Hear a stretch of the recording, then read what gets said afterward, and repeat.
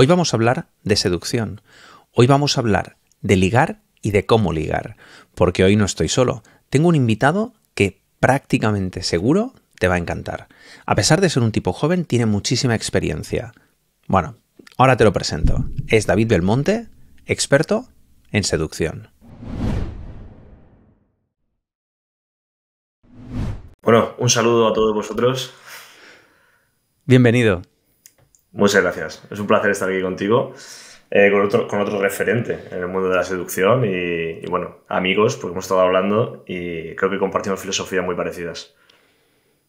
Bueno, bueno, pues yo creo que hay cosas que igual las vemos distintas y, a mí me va a molar, a mí me va a molar eso, a mí me va a molar también eso. Yo, de hecho, alguna pregunta tengo ahí, bueno, ya, ya lo sabes, ya lo sabes, de, para, para, marcar un poco la diferencia, ¿no? También, hmm. que, también está bien, ¿eh? Que lo veamos. Pero sí, es, es verdad que hacemos cosas parecidas. Muy bien. Yo creo que en el fondo, sobre todo, a nivel filosófico, creo que estaremos muy en la onda. Aunque luego la metodología, la forma de enseñar y demás sea distinto, creo que a la hora de pensar filosóficamente hablando, seguro que estamos bastante de acuerdo.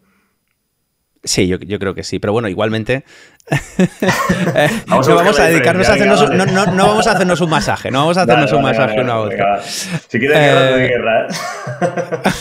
bueno, tampoco es tampoco, tampoco Bueno, bueno. Un, pero un, poquito de cada, vamos a darnos un poquito de cada. Va, venga, empiezo, empiezo por la base, empiezo por la base. Sí. ¿En qué, qué es para ti la seducción? ¿En qué consiste para ti la seducción? Para mí, eh, la seducción es principalmente una búsqueda de belleza ¿vale? Como es el amor, eh, desde las filosofías, hay una frase de Cervantes, por ejemplo, que andaba mucho por esa línea, que decía, para mí el amor es la búsqueda de, la belleza. Y eso es lo que he entendido que mis mayores eh, entienden de, aquellas personas que han llevado más al cabo esta cuestión. Yo cuando voy a seducir a alguien, cuando de verdad siento algo hacia alguien, es porque quiero despertar esa belleza. Fíjate que cuando titulé, publiqué mi primer libro, bueno, segundo libro, pero mi obra maestra, por así decirlo, que es este libro, Despierta Belleza, la gente me pregunta, ¿de dónde viene el título? Despierta Belleza, ¿de dónde viene ese título? Y esto fue por un alumno que había tenido un par de cursos con él y él me comentaba, ostras David, es que antes quedaba con chicas, tenía citas, algunas me gustaban más, otras menos, siempre iba viendo qué es lo que me gustaba de una, qué es lo que me gustaba de otra, es que esta tiene esta manía, es que esta es de esta otra forma. Y prácticamente no acababa de gustarme ninguna. Y yo no acababa de seducirlas. dices, yo, ostras, ahora es que me enamoro de todas.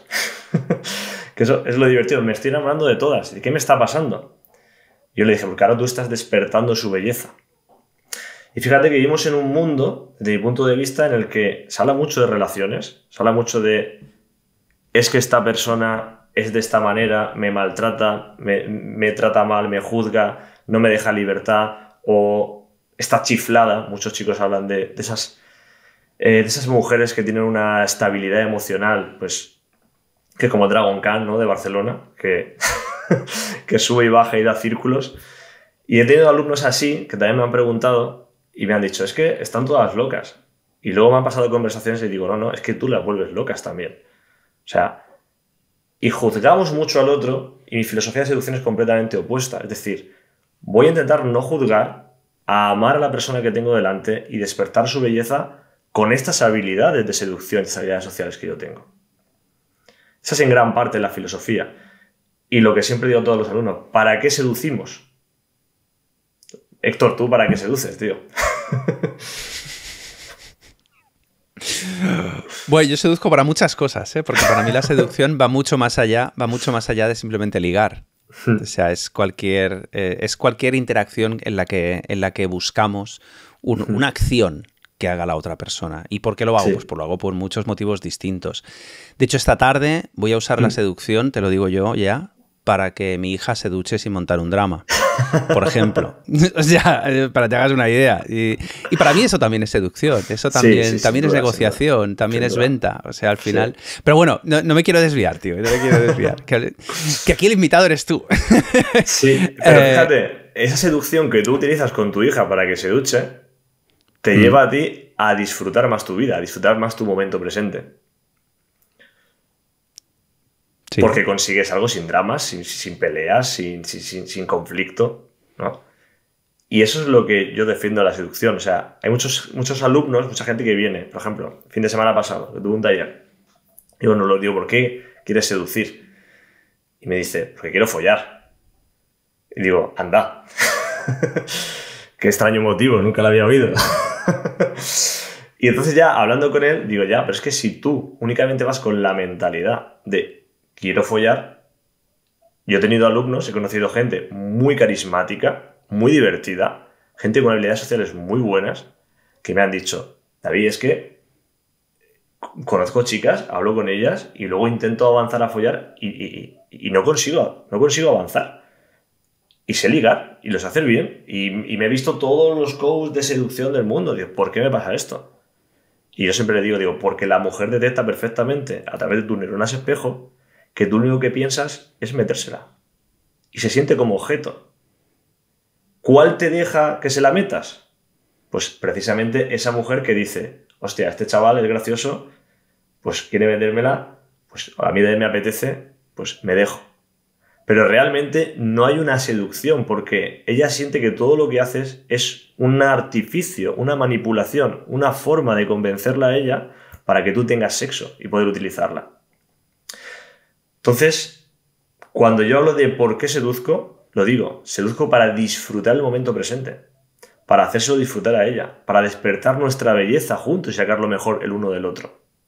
Y cuando tienes ese propósito en mente, en lugar del de conseguir algo, ¿Qué suele ocurrir?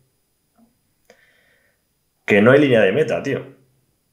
O sea, no hago esto para conseguir esto, sino que me concentro en lo que me mueve en ese momento. Si yo no tengo miedo, o sea, si yo no estoy pensando en follar, tampoco tengo un rechazo futuro que me está esperando. O sea, no hay un rechazo que yo pueda decir le tengo miedo a ese rechazo. ¿Entendemos? ¿Estás de acuerdo, Héctor? ¿No? Si a mí se me hace, se me hace muy complicado, honestamente, ¿eh? lo que se me hace muy complicado es, eh, es que los hombres dejemos de pensar en follar, tío. o sea, sí, sí, se, Se, me hace, se, me hace, muy complicado. Y es verdad, entiendo lo, o sea, yo creo que mm. entiendo lo que quieres decir. Que no sea solo follar que no sea solo una meta, que no sea solo ver el, digamos, la parte más mecánica, ¿no? O la parte más eh, como si fuera un objeto. O sea, no tratar a otra persona como si fuera un objeto, sino, sino buscar algo más. Bueno, lo que tú dices, despertar la belleza. Claro, yo ahora, ahora, ahora me tiro de la moto, ¿eh? eh, eh me, has, me has inspirado que no solo es la belleza de la otra persona, también es la belleza de la interacción que creas con esa persona que, también puede ser muy bella, independientemente del resultado. es eh, cuando tú te das cuenta de que haciéndolo de esa manera te sientes más auténtico, más genuino, más sincero, más honesto y te sientes mil veces más seductor. Pero cuando uno vive de esta forma en la que fluye por completo en el presente, en el que no está buscando nada, o sea, a mí hay alumnos que me han dicho, ostras David, es que estoy viviendo esta filosofía, estoy meditando, estoy haciendo lo que me has dicho, Y entro a discotecas y es que me están mirando y, yo no me doy cuenta. O sea, o sea, me doy cuenta de que todas las tías me están mirando de repente. Y es por la energía que yo siento que proyecto. Y no me lo han dicho también. O sea, hablamos muchas veces de la espiritualidad. Hay películas como El Guerrero Pacífico, por ejemplo, que a mí me fascinan. Y en esa película te decía, no busques el oro. No tienes que buscar el oro. Tienes que vivir justamente ese momento. Y cuando tú vives ese momento y tienes unos recursos para seducir a la otra persona y ella siente que tú eres tú, que no es una actuación para conseguir nada, sino que el sentimiento que estás viviendo con ella es completamente genuino y real, no puedes estar pensando en follar. ¿Sabes por qué? Porque follas mil veces más. esa es, hasta la historia. Que muchos alumnos dicen, ya, pero es que es, es, incoherente. O sea, si yo quiero follar, quiero follar. Digo, ya, pero es que yo viviendo así. O sea, el alumno este que no follaba nada y empezó a experimentar esto, empezó a follar sin parar. Ya no necesitas pensar en follar porque no paras de hacerlo. Entonces, por eso se rompe esa búsqueda, esa línea de meta de la que hablábamos. Vale, déjame, mm, déjame preguntarte por, mm. por algo tuyo, por cómo, por cómo, cómo empezaste. Tú, ¿cómo te interesaste por, por, el tema de la seducción? ¿Fue, fue por algo hmm. propio? Es que no, lo sé, esto honestamente no lo sé, David, y, hmm. y me gustaría que nos lo cuentes. Eh, ¿Fue para usarlo tú? O sea, ¿tú querías mejorar porque no te iba bien o querías que te fuera mejor? Hmm. ¿O tú siempre has sido bueno con las chicas? Yo eh, creo que empecé el mundo de la seducción cuando nací. creo que ese fue el momento principal. Yo tenía cinco años, eh, yo creo que estaba en parvuritos y la profesora ya me gustaba. Tenía cinco años y las niñas ya me encantaban. Ya me acuerdo de la primera chica que me enamoré que se llamaba Gema. Y eso yo lo recuerdo. Pero claro, yo era extremadamente tímido de nacimiento. Muy, muy tímido. Y durante todas esas etapas, aunque a mí siempre me ha gustado la, mujer y siempre he tenido ese deseo, de hecho me estoy acordando de, de una frase de, de Mohamed Ali, el boxeador, que decía, al final los campeones tienen un deseo, una visión. Entonces como que yo tenía ese deseo, esa visión, pero no tenía la habilidad natural para conseguir lo que, lo que yo quería. Entonces fue en, con 13 años, yo me enamoré de una chica, una rubia voluptuosa, eh, graciosa, divertida, de estas que la ves, ¿no? Estas de las que a lo mejor estás eh, no sé, a lo mejor eres eh, estopa y te pegas un piñazo con esa panda por, por la tía esa, ¿no? Porque la ves pasar. Y yo hice amistad con ella, me fui enamorando de ella y la quise ir seduciendo. Y entré en una bonita zona que se llama la zona de la amistad, imagino que, que la conoces, eh, que es, no se la lesión a mi peor enemigo. Y dentro de esa zona dije, Oye, yo quiero saber cómo conquistar a esta chica. tiene que haber algo, tiene que haber alguna cosa que estudiar. Y ya con 13 años, por suerte, no he traído aquí, nunca lo había enseñado a nadie, porque muchas veces menciono la historia, pero para que vea la gente que de verdad existe. Este libro lo encontré en la habitación de mi hermano con 13 años. Escrito en 1995. Es, creo que es anterior al método, siquiera. No lo conozco. No lo conozco. Encontré este libro y le encontré una seducción natural en este libro. Curiosamente. Empecé a poner en práctica cositas, me bajé otro libro de internet, que tampoco nadie sabrá que existe, pero era un libro que utilizaba la PNL y la hipnosis, ya en aquel momento, y tenía anécdotas muy, muy divertidas. Empecé a utilizar esa PNL conmigo mismo ya con 13 o 14 años.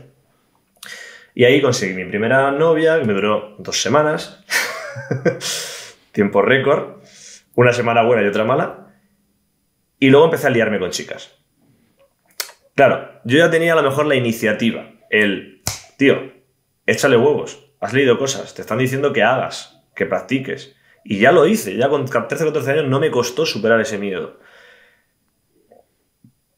Pero poco a poco, o sea, realmente me costaba muchísimo desarrollar las habilidades sociales que necesitaba. Una que para mí es principal, la conversación. ¿Qué aporto yo a una mujer? ¿Qué utilidad le aporto? ¿Qué aprende de mí? Entonces, en ese camino de seducción, luego llegaron los métodos Mystery, el método de Neil Strauss y todas las vertientes españolas y demás. Y ahí fue como... Tengo un sentimiento agridulce dentro de ese mundo de, de seducción. Porque por un lado me motivó muchísimo a seguir creciendo, me dieron ciertas herramientas que en su momento me ayudaron, pero llegó un punto en el que me obstaculizaba. Es decir, yo sentía que toda esa teoría del valor, de estar pensando constantemente en que esa persona que tenía delante yo le gustara, de qué yo hacía para ser un macho alfa, todas esas teorías eh, que habían en esos libros, con esas cosas, los idis, los sadis, el no sé qué, el no sé cuántos, me he dado cuenta de que había un momento en que todo eso se convirtió en una basura en mi mente que no me permitía fluir y sacar realmente el potencial que tiene esas habilidades que yo había desarrollado. Entonces sí que llegó un punto de inflexión, me apunté a un curso, en ese momento era de, seducción científica, y me encontré con un chaval que se llamaba Wishball en su momento, eh, Mike, B-Boys, seductores naturales de aquel momento. Y me acuerdo que hablando con él, esto siempre lo cuento porque es muy divertido, al menos para mí lo es. Hablando con, con Wishball, estamos haciendo una práctica, como somos hacer en los cursos, y coge y me dice, vamos a ver, Dice, si tú estás delante de una chica y esa chica te llega al alma y esa chica te pone de verdad, eh, yo qué sé, imagínate que la estás mirando a los ojos y te imaginas el reflejo de sus ojos que te la estás follando. Yo, coño, ¿qué le dirías? Y entonces en aquel momento le dije algo totalmente sincero, honesto, lo que me salía. Dejando al lado toda la metodología y todo lo que había estudiado. Y él me dijo, dice, hostia, dile eso. Dice, déjate esa puta mierda y dile lo que sientas. Y esa noche fue cuando cambió todo, porque salí, esta gente estaba completamente eh, loca de la cabeza. Iban acercándose a todas las chicas, eh, me das un beso en la boca, o sea, ultra directo, lo llamaban directo turbo en aquel momento. Y yo empecé a hacer lo mismo y dije, ostras, voy a intentar esto. Me acerqué a una chica que era de las más guapas que había conocido en mi vida, me abrí por completo a ella de forma directa, le conté todo lo que sentía, todo lo que pensaba y me la ligué y avancé con ella y, a partir de ahí empezaron todos los éxitos a venir poquito a poco porque yo ya no estaba pensando en qué hacer o qué decir para gustar a alguien, sino que simplemente me estaba dejando llevar y estaba diciendo lo que estaba sintiendo. Vale, muy, es, es, muy buena historia, ¿eh? Muy buena historia. Muchos años, ¿eh? Llevas. con lo joven que eres, muchos, muchos años llevas ahí, ¿eh? Desde los 13 años. 20. ¿eh? Llevas 20 años. Oye, y, y ahora, porque luego, claro, tú te estás dedicando, ya lo has, ya lo has dicho, a dar cursos, tienes, eh, mm. tienes productos en vídeo que, que, los he visto. Mm. Eh, recuérdame, por favor, tu web para el que, para que quiera... Bravetis.com. Bravetis, eh, con, con, Y, ¿verdad? Con Y. Bravetis como brave en inglés, T-I. S. Es que yo lo decía a la inglesa, ¿eh? Yo lo decía, la verdad es que yo lo... Sí, la gente suele decir ¿eh? Bravetis. Bravetis, yo decía claro, Yo, a mí me suena mejor en español, tío. Vale, vale. O sea, tú lo pensaste en español. lo, pensaste lo pensé en inglés, pero dije, me mola más en español. Vale. Bravetis. Bravetis con Y, punto, perdona. Punto com. Vale, voy a dejar un enlace en las notas del episodio para, para el que, para que lo quiera encontrar. y, David, eh, ¿dónde, ¿dónde eres, estás más activo? ¿En alguna red social? ¿Estás...? Actualmente, como estoy dedicándome sobre todo a sacar formaciones, porque quiero sacar un máster de habilidades sociales y seducción en general, estoy bastante poco activo. Pero llegará un momento en el que eso termine. Y seguramente sea para dentro de un mes o así. O sea, que esté viendo esta entrevista Creo que lo ideal es o que me busque en Instagram por David G. Belmonte o David Belmonte y me encontrará ahí. O eh, si quiere saber más de todo lo que yo hago y tener un resumen de mi forma de ver la seducción con aspectos científicos, ¿no? Aquí, para esta entrevista, pues no he puesto nada científico, quiero hacer la dinámica como me salga, pero tengo un librito donde sí que se menciona de forma eh, bastante más extensa de dónde viene todo este aprendizaje de cómo enseño a una persona a ser creativa de una forma original y auténtica, que se llama El don de la labia. Y ahí van a tener pues, 26 consejos completamente gratis. Si lo buscan en Google, les aparecerá para descargarlo gratis. Con citas científicas, a reputados investigadores y demás, que yo creo que también a la gente le viene bien, ¿no? Leer una lectura que diga, oye, pues esto está respaldado científicamente por gente muy reputada. O sea que esto debe funcionar y de hecho, pues, tú lo sabrás perfectamente, el que se toma esto un poquito en serio, o sea, funciona mucho antes de lo que, de lo que cualquier persona puede imaginar. Sí, de hecho, mira, me ha sorprendido que no, que no, no nos hablaras de YouTube, porque yo he estado bicheando mm. mucho tu, canal de YouTube y, y, sobre todo las meditaciones y las hipnosis, que tienes, tienes un montón y, y, con, muchas, con muchas visualizaciones. Sí, la hipnosis es una pasión, también creo que empezó por ahí, por los 13 o 14 años. Empecé a buscar audios de hipnosis, empecé a escucharlos. Y llegó un momento, que esto es lo que fue también en el foro de seducción científica, que ahí yo empecé a sacar audios gratuitos y los fui colgando y muchísima gente empezó a, descargarlos. Había, bueno, 50.000 descargas de algunos audios, eh, a escucharlos, a decir que sacara más. Esos audios ya llegó un momento en el que para mí no eran muy profesionales y, los, retiré, ya no se pueden descargar de ningún sitio, pero sí que empecé a desarrollar hipnosis eh, más potentes, más terapéuticas o meditaciones, más o menos que la gente lo llame como quiera, a mí hipnosis y meditación, pues yo sobre todo intento hacer una meditación basada en el mindfulness, con ese tipo de filosofía al principio de los audios, pero luego ya empecé a utilizar otro tipo de técnicas, pues tipo del método Silva o de PNL o de terapia breve estratégica para generar cambios subconscientes y que esa persona que está escuchando una meditación diga, vale, pues tengo mi parte de, mm, de, de relajación, mi parte de volcarme en el momento presente y a través de ahí ya cuando ya estoy relajado, entonces que esto me aporte algo más, ¿no? Que me cambie las creencias, que cambie mi forma de ver la vida. Si quiero ser persona más seductora, hay varios, hay varios de seducción. Si quiero superar miedos y ser una persona más espontánea y divertida, hay audios para eso. O sea, que cuando uno medite también tenga en mente algo que va a conseguir. Vale. Está muy bien. Eh, la, verdad es que he escuchado, he escuchado algunas partes. ¿eh? No, no he escuchado mm. tampoco porque tienes, pero decenas. ¿eh? O sea, tienes, tienes, tienes, tienes muchísimas. Eh, ¿Tú escuchas tus propias meditaciones? Se me ha ocurrido ahora, ¿eh? No, sé si las usas tú también o, te haces la tuya cuando, cuando te pones tú a meditar. Yo medito de muchas formas. Hago meditaciones tranquilamente yo en casa, eh, rollo mindfulness. Me abro la ventana, dejo que entre el ruido de los pájaros de fuera. Pues yo vivo en una casa en el campo y medito yo solo o en la piscina. Hago muchísimo eso. Pero luego lo que más uso son meditaciones propias. De hecho, en los cursos cuando yo voy a dar un taller, siempre me llevo, por aquí lo tengo porque estuve este fin de semana, me llevo un MP3 y está todo lleno de audios de, de meditación míos y, y, me los pongo porque ahí, mm, de esa manera, a mí me permite visualizar lo que voy a hacer.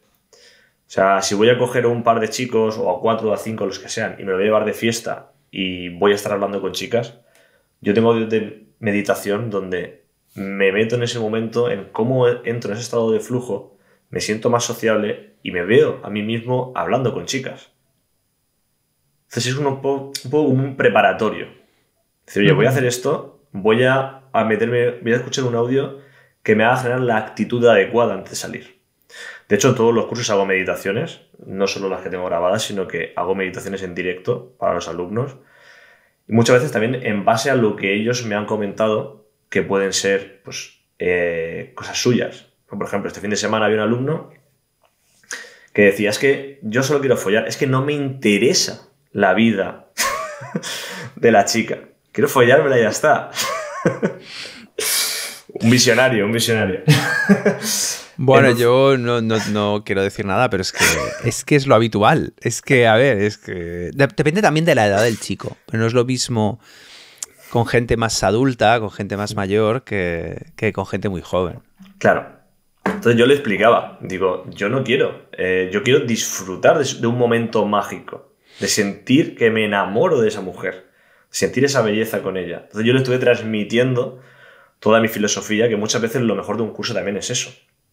A mí alumnos que me lo han dicho, dice, todavía es que verte, es verte aparecer y me entra un golferio por el cuerpo bestial. Y es porque ya te tienen asociado a esa energía eh, que tú les estás contagiando. Y dentro de un curso, cuando sobre todo es un curso presencial, si esa persona quiere empaparse de tu filosofía, tiene que estar contigo, tiene que escucharte y tiene que sentir que tú lo hablas con pasión. Y eso es muy importante, ¿no? Porque hoy en día eh, parece que cualquier persona puede ayudar a cualquier cosa a cualquiera. Se lee un par de libros o se saca una carrera de psicología y ya te puede ayudar a algo. Pero es que realmente el que más te va a poder ayudar en algo es ser alguien que lo vive con mucha pasión de mi punto de vista, porque te va a contagiar esa pasión y porque es que filosóficamente, espiritualmente, ha llegado mm, al fondo del precipicio y ha experimentado todo lo que tenía que experimentar. Entonces, yo intento que el alumno sienta eso. Y una vez que siente eso, siente esa pasión, ya con una meditación guiada, yo le puedo hacer revivir los momentos que yo vivo. Le puedo hacer sentir el tipo de seducción que yo experimento. Entonces ese alumno que pasaba diciendo es que solamente quiero follar, acaba haciendo prácticas, entrenándole la voz, leyendo poesía, sintiendo, y acabo diciendo, hostia, dice que esto me está encantando. Es que ahora ya no estoy pensando en follar, es que yo quiero ahora vivir ese tipo de experiencias con chicas. Sentirme un poeta cuando me relaciono con ellas. Que yo soy poeta, si alguien no lo sabe. Aquí tengo otro libro para demostrarlo. Vivimos en poesía. Por eso que me ría, ¿eh? pero es que es buenísimo. Tienes todos los libros ahí. Eh, tienes los libros por eso estoy, tan loco. Sí, sí, sí. es, la única entrevista donde me he sacado libros. Te ha, tocado, tío. No, no, yo encantado, ¿eh? yo encantado. Reconozco que yo de poesía sé absolutamente cero. He tenido algunos alumnos ¿eh? que, escriben poesía, pero no, no, es, mm, no es algo que no tengo ni siquiera, reconozco que no tengo ni siquiera gusto para, la poesía. Pero hay algo que creo que sí compartimos tú y yo, sí. que es que a los dos nos gusta mucho el humor. Totalmente. Incluso tú tienes, eh, tienes un curso que habla precisamente de usar, no sé si es el que has dicho antes o es otro, eh, el de usar el humor. Sí, lo explico porque lleva bastante confusión. O sea, yo ahora mismo estoy desarrollando varios cursos. Uno de ellos que ya está es el de humor, otro que ya está es el de confianza y personalidad creativa, que es como herramientas para dirigir eh, tu confianza, tu autoestima, tu seguridad, que es muy importante. Ya no solo en la seducción, sino en las habilidades sociales en general con todo el mundo. Luego tenemos un curso que es eh, Conecta y atrae con la conversación, que va muy enfocado a generar esas conexiones emocionales con las personas con las que nos relacionamos, dominar la conversación. O sea, yo, por ejemplo, yo no entiendo. Pero espera un momento, me, quiero centrar en. Es que quiero ir al humor, es que quiero ir al humor, perdona, ¿eh? O sea, tú tienes uno que, habla específicamente de humor, ¿verdad? Sí. Vale. Y, ahí, ahí yo conecto bastante con ese tema, porque reconozco que a mí me gusta mucho hacer el tonto y, me lo paso muy bien cuando hago el tonto, cuando digo tonterías y todas esas cosas. Pero a veces hay gente que me dice, oye Héctor, pero es que a mí no me sale decir tonterías o a mí no me sale contar chistes. Y, ahora te, y te lo pregunto a ti, ¿eh? porque parece también que, lo usas mucho. ¿Tú crees que cualquiera puede utilizar el humor? ¿O que si no nace con la gracia, mejor que use otras cosas? A ver, yo no nací con ningún tipo de gracia. pero, pero cuando es ninguna, es ninguna, cero patatero. Y he tenido momentos en los que yo he dicho, madre mía, o sea, debería meterme humorista, porque estoy aquí hablando con cuatro chicas y se están descojonando y le estoy gustando a todas, no sé cuál tirarle. O sea, he ido momentos de muchísima diversión. Y para mí el humor, dentro de la seducción, de hecho, algunos incluso dicen que que los mejores seductores actuales son los humoristas. En el pasado eh, fueron los Casanova, que son los poetas y filósofos, y dicen que hoy en día son los cómicos los que, los que más acaban ligando, ¿no? Yo he experimentado una evolución muy bestia a la hora de desarrollar el sentido del humor. He tenido, por ejemplo, un alumno recientemente que tampoco tenía casi sentido del humor, hizo el curso, estuvo trabajando un poco conmigo y me dijo que tenía una relación ahora y no paraban de escojonarse continuamente de que había potenciado muchísimo su humor. Y yo sí que estoy viendo en la gente que estos recursos, o sea, estas habilidades se van entrenando y la gente les acaba saliendo. Otra cosa es que no salgan de hoy para mañana. Eso está claro. De hoy para mañana no va a salir. Pero si tienes un poco de interés y lo vas desarrollando y estudias un poquito el tema y vas practicando, al final poquito a poco vas haciendo cambios y por supuesto puede ser muchísimo más divertido. A lo mejor no eres un Dani Rovira, pero por lo menos ya no vas a ser un Sosainas. que es lo importante. Vale, no, es que está muy bien, está muy bien que lo digas, porque tampoco hace falta ser Dani Rovira. Exactamente. Para, pasártelo bien y tener una interacción. Ah, está muy bien, muy bien. Pues eh, me encanta. Eh, vale, te quiero hacer una pregunta, pero esta es. Esta, esta es una pregunta VIP. Esta, pregunta VIP. Esta es una pregunta VIP. Esta pregunta la voy a dejar solo para la gente que esté suscrita a mi lista de correo, si me lo permites. Por supuesto. Eh, y, esta, y esta es potente. Esta, esta, es potente. A ver, a ver, a ver qué me dices. A ver qué me... igual es un poco comprometida, ¿eh? no lo sé. A ver, a ver, a ver qué me cuentas. Vale, voy a cortar, voy a cortar la pregunta, la pregunta VIP con, con esta, esta máxima que nos has dejado, David, de que cagarla por WhatsApp suele ser muy habitual. Perfecto. Muy bien, muchas gracias eh, por, por, esta, por esta, esta masterclass eh, que nos has dado, súper súper breve, pero fantástica. Y, ha salido, ya que ha salido el tema del, Instagram, del WhatsApp, de todas esas cosas, eh, bueno, eh, esto hace, hace tiempo tengo, tengo una batalla yo con, con Instagram y con la gente que, quiere ligar por Instagram. Bueno, da igual, pero no me quiero meter en eso porque yo lo desaconsejo, lo desaconsejo 100% el tema del, Instagram para, para tíos que no tengan un perfil muy determinado. Sí. Pero me quiero ir, me quiero ir al tema de las aplicaciones de citas, que ha salido ha salido, ha salido el tema. ¿Qué opinas tú de, ligar en las aplicaciones de citas? Porque me has hablado casi todo el rato, hemos hablado de ligar un poco más de noche, ¿no? Bares, sí. pubs. ¿Qué eh, opinas de las aplicaciones? Yo soy un viejo rockero, ¿vale? Me gusta considerarme así. Es decir, yo donde esté un bar, ir allí y encontrar una mujer preciosa y ir a por ella, a mí que me quiten de aplicaciones. Las he usado, las he probado, soy un coach empírico, me gusta probar las cosas. Y me ha ido bien en ellas, en general. Es decir, eh, yo cuando enseño a comunicar, a veces la gente me dice, bueno, pero esto por WhatsApp, ¿cómo se aplica? Digo, si tú sabes cómo comunicarte para conectar emocionalmente, para sexualizar y tal, digo, es lo mismo. De hecho, es más fácil, porque tienes más tiempo para pensar lo que tienes que decir. Lo único que hay que hacer es respetar un poco los tiempos. No soltar un párrafo y que suelte dos líneas. Y eso es un poco más complicado y hay algunas cosillas más a considerar. Para mí están muy bien. Yo he tenido alumnos que han venido a un curso, un campamento de verano, y venían desde el norte y han quedado con una en Madrid, han quedado con otra en Alicante, han llegado al curso y a la vuelta han quedado con otra en Murcia. Y han dicho, he aprovechado las paradas para quedar con chicas. Genial. O sea, todo tiene su utilidad. Si las aplicaciones para ligar puedes conocer gente desde casa, a mí me parece estupendo.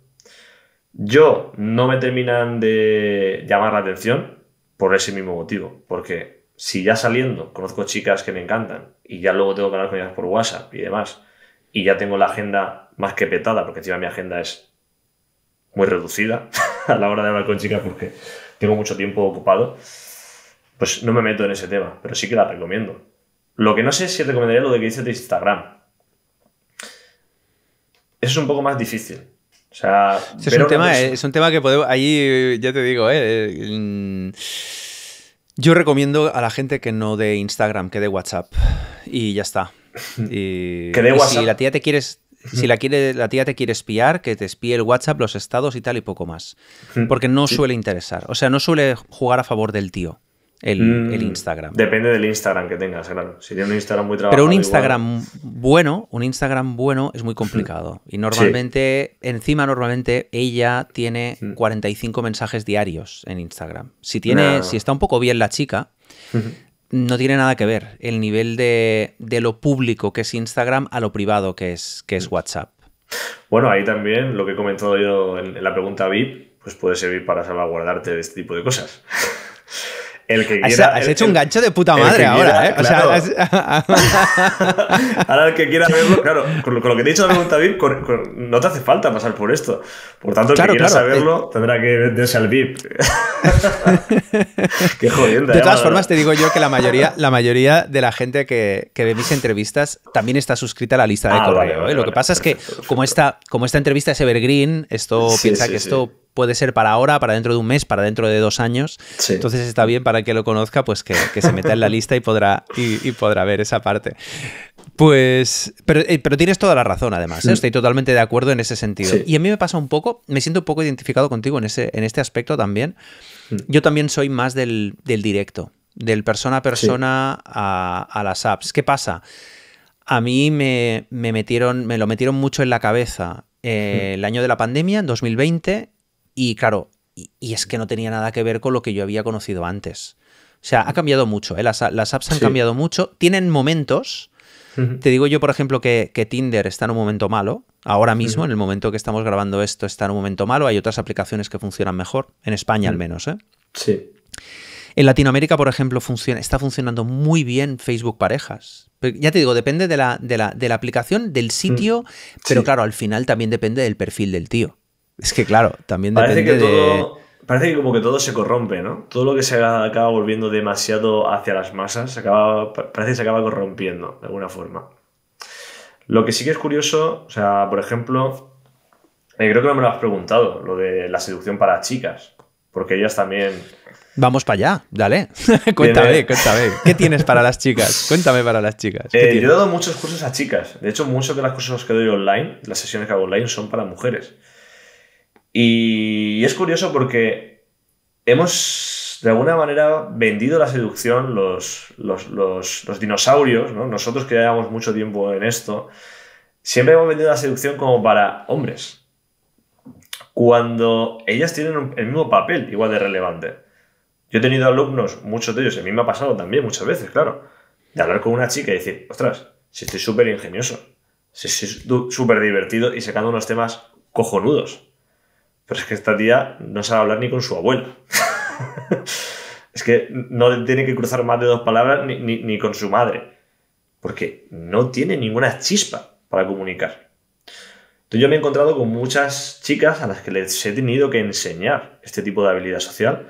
Para mí la seducción es eh, entretener, divertirse, hacer sentir valorada a la otra persona, valorarte a ti mismo, sentiros comprendidos y jugar y tener juego y sexo. Son las habilidades, eh, las necesidades básicas y con eso una persona seduce, si cubre todas esas necesidades. Y la mujer tiene que entrar parte dentro de ese juego, tiene que interesarse también por el mundo de la seducción y también que el hombre, por supuesto, se lo ponga un poco fácil para que ella le seduzca. Sí, sí. Y ahora que estamos hablando de mujeres, venga, pregunta, pregunta polémica. Bueno, polémica, o que puede ser controvertida. A ver, ¿qué, opinas del, feminismo oficial, del de ahora, del del Ministerio de Igualdad y esas cosas? Si te digo la verdad, eh, no sé si estoy al día de todo lo que es el ministerio, de lo que estén diciendo ahora, porque intento de alguna forma evadirme un poco de la polémica que genera la política. Ya en el pasado me he visto sumergido en dinámicas de ir tragándome todo lo que los políticos... Eh, al final, el político vive de generar conflicto, eso tenemos que tenerlo claro. Si la gente vive una vida súper amorosa, súper divertida y lo genial, no va a poner la política. Si tú estás súper enamorado con tu pareja viviendo un, éxtasis, tú no pones la televisión a ver a, un imbécil diciéndote cómo tienes que vivir tu vida. No lo pones, te da exactamente igual. Entonces, la, la política es como que intenta explotar y generar conflicto en el pueblo, desde mi punto de vista, para que éste se alce. Por supuesto, el feminismo tiene una razón de ser. Yo me considero una persona feminista en el sentido de que soy una persona igualitarista. Para mí, amo tanto a la mujer que quiero, sea, que quiero que sea totalmente libre. Incluso estando conmigo, si yo estoy con otra mujer y le gustara a otra persona, o sea, amo su libertad en todos los sentidos. Y quiero que sea igual. Y no quiero que una mujer dependa de mí. Nunca con una mujer que yo dijera, es que está conmigo porque la tengo que sustentar económicamente. No intentaría hacer eso. Eh, porque quiero sentir que esa mujer está conmigo porque decide estar conmigo cada día, porque yo la seduzco cada día. Eso es lo que yo quiero. Entonces, aprecio la libertad total. Lo que pasa es que siempre hay villanos, ha habido hombres que se han portado mal, siempre ha habido villanos, y eso se ha aprovechado en la clase política para alimentar crispación alimentar esa clase de odio. Y luego, además, pues tengo algunas anécdotas, no voy a alargarme mucho, pero bueno, para sintetizar, para que entendamos lo que está pasando. Tengo un amigo que su exnovia le acosa a él. Le apunta web de citas, le apunta web de personas homosexuales, eh, le mete por ahí en, en, cosas de Bitcoin o de criptomonedas, todo lo que ella pilla que es basura, le apunta. Y encima por la calle le raya el coche y le hace de todo. Él fue a la policía para denunciarla. ¿Sabes lo que le dijo la policía? No lo adivinas, ¿no? dime, dime. Le dijo, si haces eso y mañana ella viene aquí y te denuncia a ti diciendo algo contrario, dice, tu palabra no vale nada. Dice, tú vas al calabozo, dice, y ella se sale con la suya. Dice, te doy un consejo como policía aguántate y espera o reza para que se canse. Eso es lo que tienes que hacer. Y luego lo verifiqué con otro amigo que es guardia civil. Digo, por si este se ha fumado algo. Y me dijo, no, no, dice, es el consejo habitual que damos. Dice, hoy en día la mujer tiene muchísimo poder sobre el hombre en tema de leyes. No es igualitarismo. Ahora ya es otra cosa. ¿Y esto qué está generando? Pues creo que las mujeres están generando un flaco favor porque ya empiezo a ver, y lo habrás visto en redes sociales seguramente, a una serie de hombres que están quemados con este tipo de realidad. Que están quemados con que si se comprometen con una chica, el piso que ellos han comprado luego es para ella. ¿Y qué están haciendo? Buscar solamente sexo. Y la mujer quiere tener un hombre con el que vivir el ideal Walt Disney. Pero como le han dado tanto poder y el hombre tiene tanto miedo y se siente tan inseguro para dar ese paso a la vida Walt Disney de somos pareja y vivimos juntos para siempre, porque lo puedo perder todo. Si mañana se te va la olla por lo que sea y dices que te he maltratado, yo lo pierdo todo. Entonces, llega un punto en el que el hombre dice, pues vivo la vida loca, solamente follo y ahí te quedas tú con tus derechos. Y esas son cosas que ya están pasando. Entonces, para mí la solución es educación, no imponer eh, una injusticia, porque estábamos intentando corregir una injusticia y hemos creado otra, que ese es el problema. Ha sido una masterclass. Me has sacado, tantos melones, tío. me, has, abierto tantos melones que no sé, no sé por cuál tirar.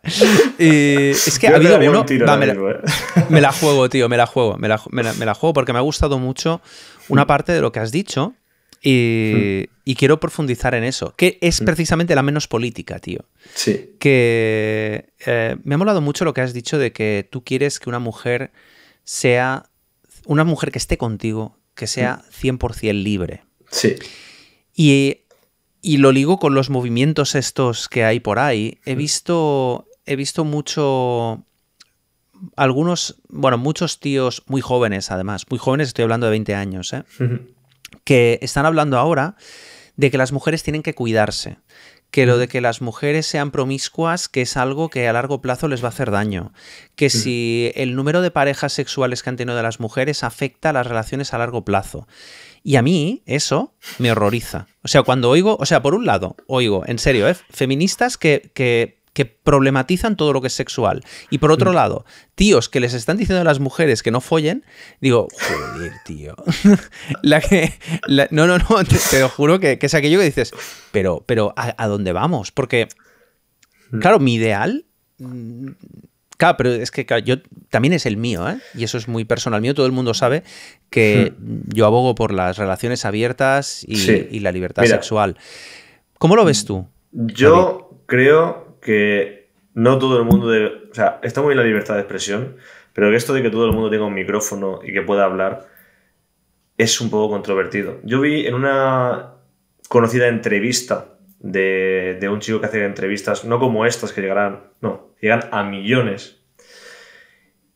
Y sacaran el tema de las relaciones liberales. Yo es un tema que no tengo una relación liberal, pero, o sea, nunca la he tenido, pero me encanta. Los fundamentos, he leído espiritualmente a Oso hablando de relaciones liberales, a Nilda Cavaligio, si sé decir su, su apellido, que habla mucho de ellas. O sea, he leído varios libros y me encanta. O sea, esa filosofía de, de amar porque es la que yo tengo. Yo amo a todo el mundo estés o no estés conmigo. Y a mí no sería ningún impedimento que una persona que esté conmigo me dijera, oye, pues, ahí me apetece esta noche eh, irme por ahí y si conozco algún tío me apetece disfrutar. Hostia, yo soy feliz estando tú feliz. a lo mejor me apetece mañana hacerlo a mí. Es decir, yo me, para mí el amor está por debajo de la libertad.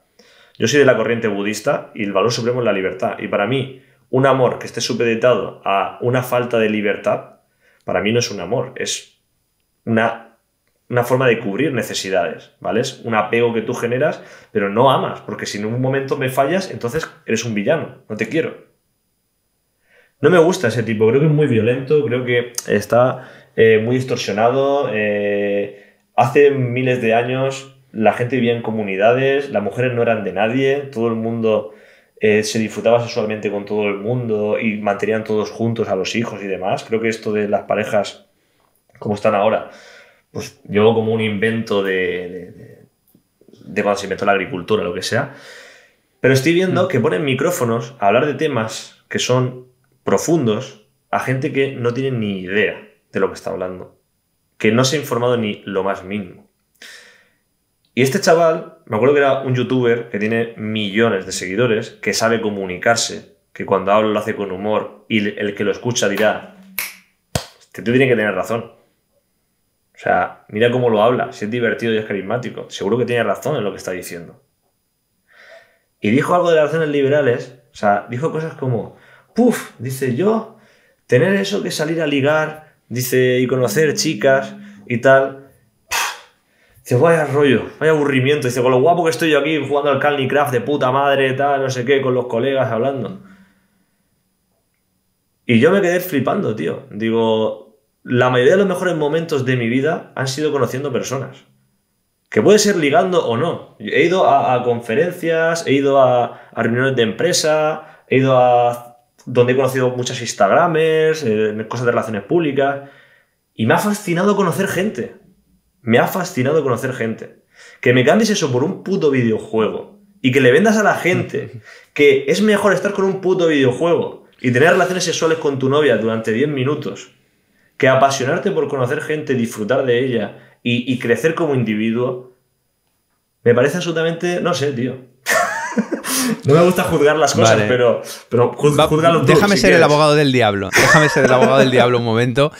A ver, eh, yo comparto, evidentemente, comparto tu friquismo por las relaciones sociales. Y yo no cambio. No, yo he jugado mucho a videojuegos hmm. cuando no podía follar, tío. cuando, cuando no tenía relaciones sociales satisfactorias. Y, no he vuelto a tocar un puto videojuego en años. Yo hace años que no. Que, siento que pierdo el tiempo si, si, estoy jugando a videojuegos, lo reconozco. Hmm. Pero. Pero eso lo compartimos tú y yo, que está muy bien, ¿eh? Pero entiendo que hay gente que no lo ve así, tío. O sea, yo también entiendo que hay gente que, que para. Gente que dice. Salir de noche y por ahí y no sé qué, y hablar con desconocidos y tal. Claro, entiendo que, yo creo, ¿eh? Creo que creo entender también la posición del youtuber, ¿eh? sí, no, sé si te ha pasado a ti, me está recordando, me está a, otros casos, porque esto me ha pasado varias veces. Pero uno de los casos más destacados fue un alumno que sí tenía pues casi 50 años o 40 y tantos, no me acuerdo, ¿no? Y eso fue hace años, yo tenía lo más joven. Y él me decía, dices que salir de fiesta y todo eso, dice, a mí no me gusta. Y yo le dije, digo, ya, digo, ¿qué haces cuando sales de fiesta? Y me dice, me junto con un colega, estamos ahí en la barra, tomando una copa. Digo, ¿hablas con alguna chica? Y dice, no. Digo, ¿te relacionas con alguien más que con tu colega ahí en plan viendo pasar la noche? Digo, no. Digo, ¿cómo cojones crees que te va a gustar salir de fiesta? Pues que es así, es que la inmensa mayoría de gente se va de fiesta, como mucho beben, como hmm. mucho, beben. Encima, claro, música alta, eh, la gente te pisa, no sé qué, pasan por ahí y dice, claro, ¿cómo les...? Claro, yo lo entiendo, ¿eh? Yo he estado ahí, ¿eh? Pues, pues ahí en una esquina así, sin hacer nada, claro. Ese mismo alumno salió ese fin de semana conmigo y estuvimos hablando con chicas y me dijo, David, dice, me lo he pasado casi mejor que en toda mi puta vida. Dice, ¿cuánto tiempo he desperdiciado repitiéndome a mí mismo que no, que es que a mí salir de fiesta no me gusta? es, que a la que conocen a 10 tías en una noche, mm. es que a la que, ¿sabes? Claro, a la que, a la que dices, hostia, a la que empiezan a darles el número, a la que no sé qué, a la que, me acuerdo en Sevilla, mira, hace muy mm. poco en Sevilla, que, que por, será por casualidad o el carácter que, tenían allí y tal, que todo el mundo nos quería, las tías nos querían llevar con ellas. venga, veniros aquí que vamos a tomar algo. Veniros acá que vamos a tomar algo juntos y tal. Y claro, los alumnos. yo también flipé un poco con eso. ¿eh? Eh, eh, te prometo, eso en Barcelona no es tan habitual, ¿eh? A ver, yo por ejemplo, viniendo en este tema, ya con esto ya luego sigue dirigiendo la entrevista si quieres. en relación con este tema, no es que yo critique al youtuber por no salir de fiesta, no ligar, etcétera realmente mi crítica está en no crecer emocionalmente. Es decir, yo sé que yo soy un apasionado de conocer gente o poder de ligar, pero yo he estado en pareja y he estado leyendo cosas y meditando y creciendo para esa persona. O sea, para mí, siempre para mí. Pero lo he hecho creciendo en una relación con esa persona y he tenido unas relaciones que han sido flipantes. Pero flipantes de, de nueve años y no bajar la pasión en ningún momento. No tener, eh, decir, ella no ha llegado al orgasmo o yo no he llegado al orgasmo jamás. O sea, cosas que he dicho, qué pedazo de relaciones. Y eso o tú te da por leer, por currártelo, por meditar, por, amar la vida y, buscarlo, o no lo consigues. Y hay gente que está fomentando ver la vida pasar en, no sé, que, para mí que alguien que juegue a videojuegos de vez en cuando me parece estupendo. Yo veo Netflix de vez en cuando y a veces me echo un FIFA, lo tengo por ahí y me mola echar algún partido. Pero hay un equilibrio. Y no podemos hacer, no puede ser que haya gente que entres a su café habitación y no tenga ni un puñetero libro, tío. Que le preguntas, ¿cuánto has leído en los últimos 10 años? Y dice, no sé, ¿el marca cuenta? bueno, bueno. Entiendo, entiendo, entiendo ¿eh? que, para ti es, inconcebible. Entiendo, perfectamente. ¿eh? Pero también te digo, pero también te digo, es que a ver, mm, bueno, no te voy a hablar de Sálvame, que ahora se acaba Sálvame y ahora es la noticia. esto, ahora esto no se ve el green, tío. es la noticia se acaba Sálvame. Pues mucha gente estaba viendo Sálvame, llevaba años y años y años, cada tarde delante de la tele. Entonces, es el mundo, es el mundo que tenemos, ¿eh? Y, no, no, es, no es mi forma de verlo, pero, pero lo entiendo. Y es, muy superficial, eso es lo que no me mola tampoco.